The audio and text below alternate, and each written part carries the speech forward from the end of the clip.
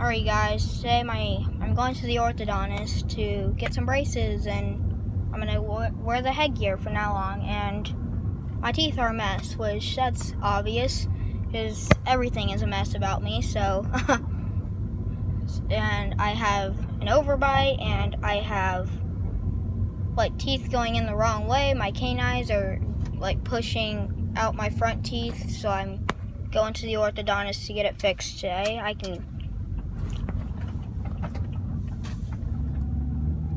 See that? You can just see my overbite in the camera. That's how bad it is. You see how these teeth are like apart? They should be together. And yeah, and you see that tooth? It's not growing.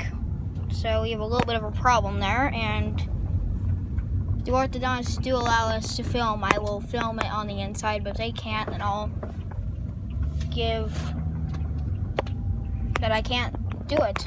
I'll give I'll give you a look after if I can't film it while they're in it. If but anyways, that's a quick that's a sneak peek before me getting braces. I'm gonna get bottom braces too, which I don't know what's wrong with my bottom teeth or if there is anything wrong with my bottom teeth. But right now, as you see, we're in the car, getting ready to go.